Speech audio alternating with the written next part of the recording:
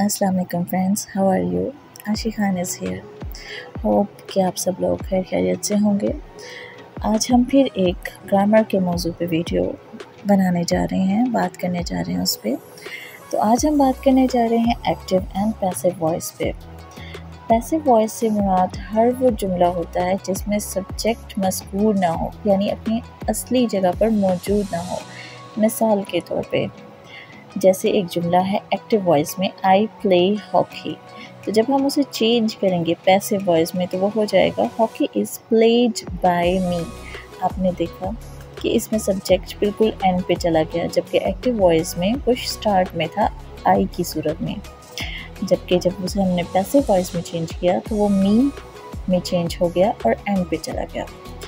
Passive voice में verb की हमेशा तीसरी फॉर्म इस्तेमाल की जाती है और इससे पहले कोई ना कोई हेल्पिंग वर्ब ज़रूर इस्तेमाल किया जाता है। मिसाल के तौर पे hockey is played by me तो आपने देखा कि एक्टिव वॉइस में आई प्ले हॉकी में प्ले की मतलब फ़र्स्ट फॉर्म थी। जब उसे पैसिव वॉइस में चेंज किया तो वो प्लेड हो गया, यानी थर्ड फॉर्म हो गई।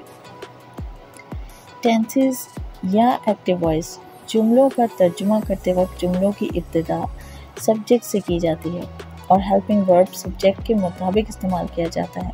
जबकि पैसिव वॉइस में जुमलों का तर्जुमा कर, करते वक्त जुमले की इब्तदा ऑब्जेक्ट से की जाती है और हेल्पिंग वर्ब ऑब्जेक्ट के मुताबिक इस्तेमाल किया जाता है। मिसाल के तौर पे ही इज़ ईटिंग एप्पल्स ये एक्टिव वॉइस का जुमला है। जब हम इसे चेंज करेंगे into passive voice it will become apples are being eaten by him.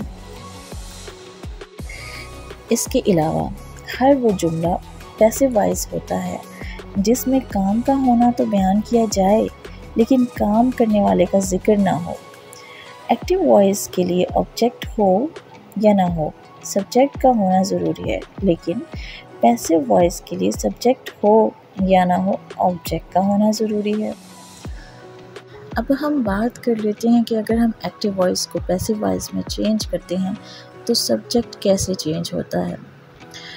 Subject for change of subject ये रूल्स हैं कि ही को हम हेम में चेंज कर देते हैं। शी को हर में इट इट ही रहता है। आई को मी में यू यू ही रहता है। वी को अज में दे को दैम में, और जो किसी का नाम होगा वो भी नाम ही रहेगा। फॉर एग्ज़ाम्पल एक सेंटेंस लेते हैं आई ड्रिंक वाटर तो अगर आई ड्रिंक वाटर है तो यहाँ पे जो हमारा आई है, वो मी में चेंज हो जाएगा। किस तरह? Water is drunk by me ठीक है? Second sentence I beat him ये क्या बन जाएगा? He is beaten by me यहाँ इस बात का ज़िक्र करना बहुत ज़रूरी है। कुछ एक्सपेक्शनल केस ऐसे होते हैं, जहाँ इस किस्म के सेंटेंसेस होते हैं जिन्हें चेंज नहीं किया जा सकता। जैसे कि, वैसे तो हर काम अल्लाह की मर्ज़ी से होता है, लेकिन कुछ काम ऐसे हैं जिसमें इंसान का कोई अमल दखल नहीं होता। तो ऐसे जुमले का एक्टिव वॉइस नहीं बनेगा। ये उर्दू में पैसे वॉइस जुमलों की पहचान के लिए वही अल्फाज इस्तेमाल किए जाते हैं जो कि एक्टिव वॉइस के होते हैं। अगर जुमले के आखिर में जा, जाता, जाना, गया वगैरह इस तरह के लफ्ज़ इस्तेमाल हों तो इनका मतलब कहीं आना या जाना नहीं है। ऐसे जुमले पैसे वॉइस होते हैं। मिसाल के तौर पे कि मैच खेला जा रहा है, ठीक है? तो ये कि मैच कहीं जा नहीं रहा, बल्कि मैच हो रहा है। सेकेंडली जैसे चोर पकड़ा गया है। थर्ड जैसे कि काम किया जाता है। काम कहीं जा नहीं रहा, जाने से ये मुराद नहीं है। काम हो रहा है। अगर कोई शख्स खुद से कहे, कहीं आए या जाए तो ऐसे जुमलों को पैसे वॉइस नहीं बनता। लेकिन अगर कोई दूसरा शख्स लेकर जाए तो ऐसे जुमलों का पैसे वॉइस बनता है। फॉर एग्ज़ाम्पल वो स्कूल जा रहा है। अगर ये एक्टिव वॉइस है, ऐसे जुमले का पैसे वॉइस नहीं बनता। सेकेंड नंबर पे, मुजरिम को अदालत ले जाया जा रहा है। ये पैसे वॉइस है। इस तरह के जुमलों का पैसे वॉइस बनता है। आज की वीडियो का टॉपिक यही था। और इतना ही आप अच्छे तरीके से एब्जॉर्ब कर लें, इसे याद कर लें, क्योंकि ये जनरल रूल्स हैं कि आप जब एक्टिव वॉइस को पैसिव वॉइस में चेंज करेंगे तो किन बातों का ख्याल रखेंगे। नेक्स्ट वीडियो में इंशाल्लाह हम बात करेंगे कि प्रेजेंट इंडेफिनिट टेंस अगर हो एक्टिव वॉइस मतलब सेंटेंसेस हों प्रेजेंट इंडेफिनिट टेंस की फॉर्म में तो हम उन्हें पैसिव वॉइस में कैसे चेंज करेंगे? इस तरह स्टेप बाय स्टेप हम सीखते जाएँगे। नेक्स्ट उससे नेक्स्ट होगा कि प्रेजेंट कंटिन्यूस टेंस में अगर पैसिव वॉइस हो तो उसे एक्टिव में कैसे चेंज करेंगे?